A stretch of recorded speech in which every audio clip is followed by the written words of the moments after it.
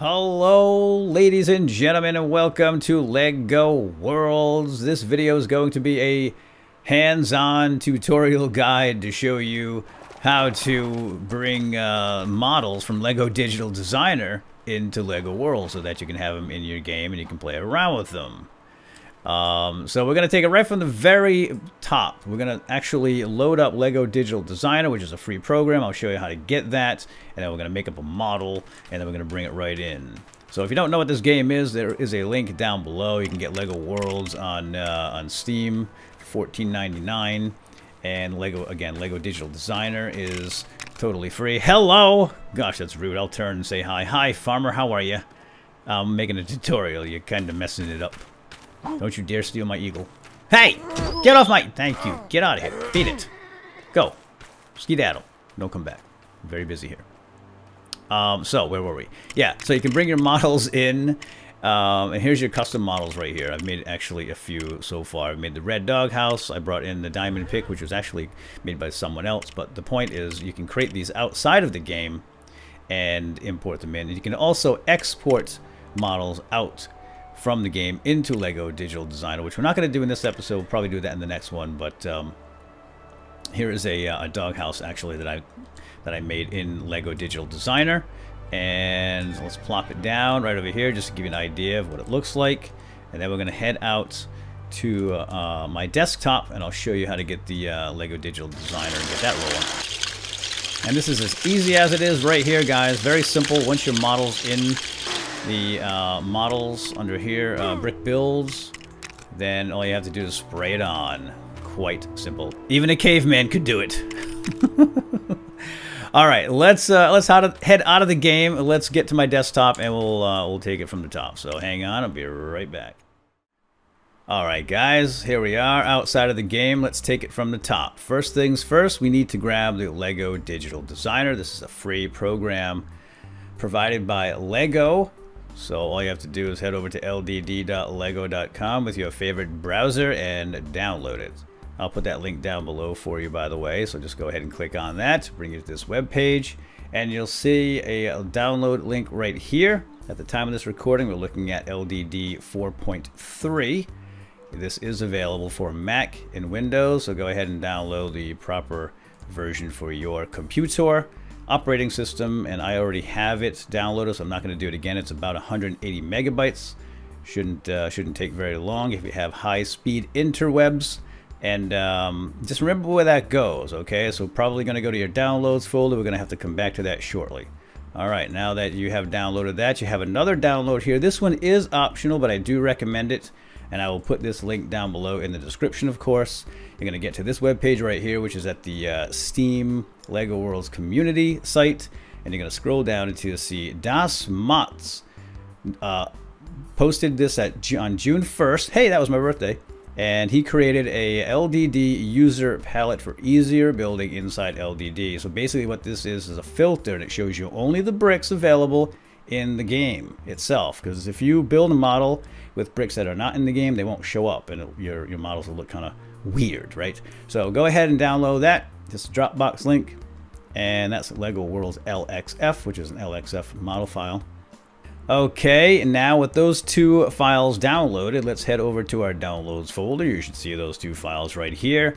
Go ahead and install LEGO Digital Designer first. That'll take a few minutes and might actually download some more updates. So when that is complete, come on back. And then when that's done, you are going to go find your Lego Digital Designer folder. Now I've got a shortcut here already made up, but you should find it under App Data, Roaming, Lego Company, Lego Digital Designer. You can search for that in Windows, of course. By the way, this is Windows.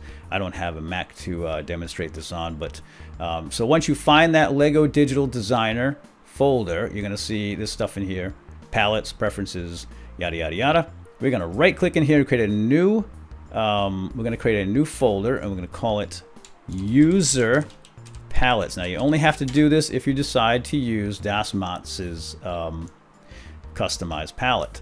So go ahead and do that. We're going to go back to the downloads. I'm going to grab this file right here, right click and copy. And we'll head back to where we was in user palettes and drop it in, paste it, and there you go. That's our um, That's the template file that we're going to be using. So with that done, let's go ahead and uh, make a model. So we're going to run Lego Digital Designer. So here we are, and you can see my reg dog house. There it is. Very cool stuff. Oops, I didn't want to do that. uh, I want to create a whole new model, blank, and that's down here, the free build. So we're going to do that. And I don't really know how to use this very well. This is not a Lego Digital Designer tutorial per se, but uh, you can play around with this. It's quite it's quite robust and fun. Um, first thing you're going to see is all the bricks. Everything available in LEGO right here is on this template over here. So what we need to do, like I said earlier, is filter this using the um, using our um, Lego using Das Matz's user palette, right? So let's go up to View, and then we're going to New Themes, and we're going to just click on, make sure we're clicked on uh, LDD over here. All right. And that should show you another icon down here. It says filter bricks by boxes. Click on that and you should see Hero Factory and Lego Worlds. This is the one that we just installed, right? Cool. Click on it and it uh, filters out all the stuff that we cannot use. So these are the only bricks that are available in LEGO Worlds right now. Now keep in mind, LEGO Worlds is an early access game, so more bricks will be added, so hopefully Das Matz will update this user palette. But this is really great. Um, so unfortunately, it's all gray. There's no colors in here, so you can't build with colors, but we can uh, we can colorize them later, and I can show you how to do that very briefly. Um, again, I'm not an expert at this program, but I can show you the very basics, and what I'm interested in is a torch. I want to build a Minecraft torch so I can use my my famous um, my famous uh, navigation trick by leaving torches behind so I can find my way around. It's very difficult well, it's actually very easy to get lost in Lego worlds, flying around and finding new places and getting your way back home is kind of uh, is kind of a chore. So I want to leave big torches behind. So I'm going to make a Lego torch, and I'm just going to use the 2x2 bricks, the old famous 2x2s, and I'm going to make a, a simple base. Are you floating? What's up, buddy? There we go. I'm not really very good at this, guys, but uh, bear with me. I do know how to use a clone tool, though, which is kind of nice. So you basically just click on that one, the one you want, that you want to build with and it will stick to your cursor. And once we get this base built there we go okay. So now I'm gonna grab that whole base and there's a way to copy this as well. You can just do like a multi-selection tool and then clone it and then plop that right on top. So basically what I'm gonna do is continue doing that. Do the same thing I'm gonna keep going up clone it until I get up 14 I believe it was so that's, oops, did I get everybody there? No. Hey, play fair now. Yep. So that's one, two, three, four, five, six, seven, and eight. Now, I already have one of these made up, so let me just go grab it, and I'll be right back. And voila! That is my Minecraft torch. The gray Minecraft torch. So now we want to colorize it, and we can do that either in LEGO Worlds or right here in the LEGO Digital Designer. Um, in order to do it here, what you want to do is you need to uh, bring up the color mode because if you don't do this, it doesn't work. You have to go to LDD Extended Mode. So go to View, New Themes, Extended Mode, and then everything gets some color here. But uh, don't be make sure you're not bringing in new bricks because this will show you all the bricks again. So just let's just play with the color. And we're going to do that by clicking on Paint Tool. And we're going to go over here to our colorizer. And we're going to start at the top. And we're going to use like different colors here like yellow as a nice bright. Um, this is the top of the torch, right? Where the flame is. And I'm going to go down about like one, two, three I won't go any lower than that, and the rest is going to be brown. So I'm going to do this really quick off camera, but it's going to be something like this. And I'm going to try to get some shading in there if I can. I'm not really very good at this sort of thing, but I'll try to make it look like a Minecraft torch, and I will be right back. It's a lovely color. Oh, that coffee? Oh, it makes me thirsty. All right, hang on. I'll be right back. All right, guys, that's about the best I can do uh, it's good enough for government work, right?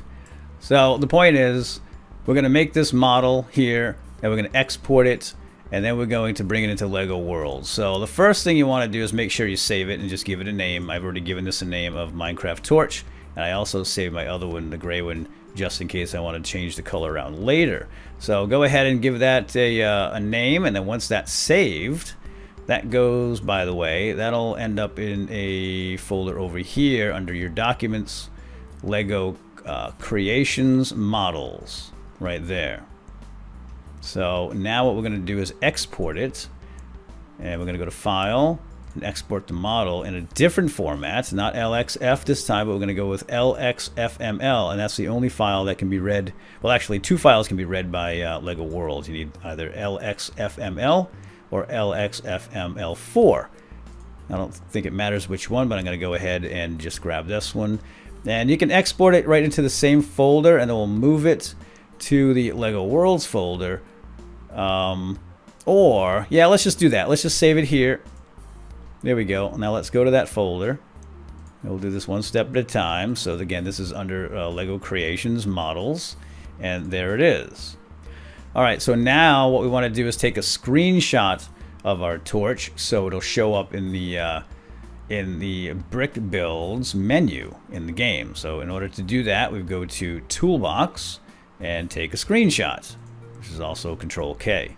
And you're going to get the screenshot based on what you're looking at right here. So if you want to get in close, um, I guess that's about as close as I'm going to get, right?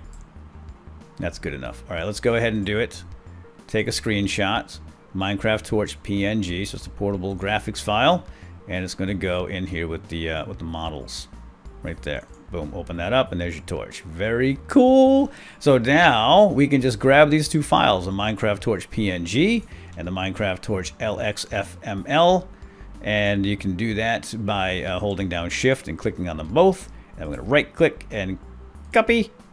And we're going to go over to the LEGO Worlds folder, which is under App Data. Well, App Data, Roaming, Warner Brothers Interactive Entertainment, and LEGO Worlds. So anyway, let's go to LEGO Worlds folder, and you're going to see this folder right here called Mods, a subfolder under that folder. And you're going to go to Models, and you're going to see all the other models that I've already made um, or custom made or, or captured within the game. And I'll show you guys how to do that in the next episode, like I said. And for example, my red dog house is here. And we're going to right click in here and paste. So now I have Minecraft Torch, Minecraft Torch, the two of them. And we are done with LEGO Digital Designer. We can go ahead and shut that down. And we're going to run the game. And we'll see if that, uh, if that actually works. So cross your fingers. I'll be right back. Alright guys, here we are back in LEGO Worlds, and I've decided to go with my caveman, because it is so easy, even a caveman can do it, and I'm going to prove it. So we're going to go to our models menu, and voila, look guys, 65 brick builds. There were 64 before, right? So we know that we did something right. So let's click on that and see if we have a torch. There it is! It's a tiny little thing. But if you take a screenshot in LEGO Digital Designer of a close-up, that'll be much larger, like I did with the doghouse here. So, yeah, I'm, I can redo that. All you have to do is replace that PNG file, so no big deal. And then we click on it, and there's our torch. There's our blueprint, and all we have to do is plop her down, and this becomes one of our um, breadcrumbs. This is how I find my way home, because that's the island I came from, and I leave a, a bunch of torches behind, just like in Minecraft. So go ahead, caveman! Make me a Minecraft torch. Oh, it glows. I didn't know those bricks glowed. How cool is that? I would have put more. I can still change it. Oh, that's amazing.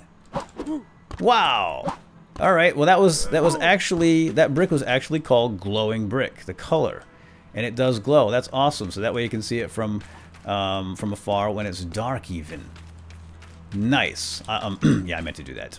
Anyway, so that's pretty much it, guys. I hope you enjoyed. That is how you get your LEGO Digital Designer models uh, made up in LDD and then imported into the game.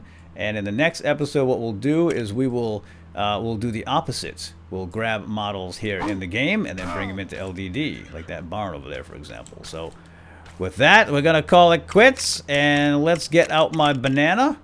And uh, bananas for everyone. This is your, your, oh boy, your parting gift. You over there in the back. There you go. Have some fruit. Okay, we'll see you next time, guys. Hope you enjoyed. Bye-bye.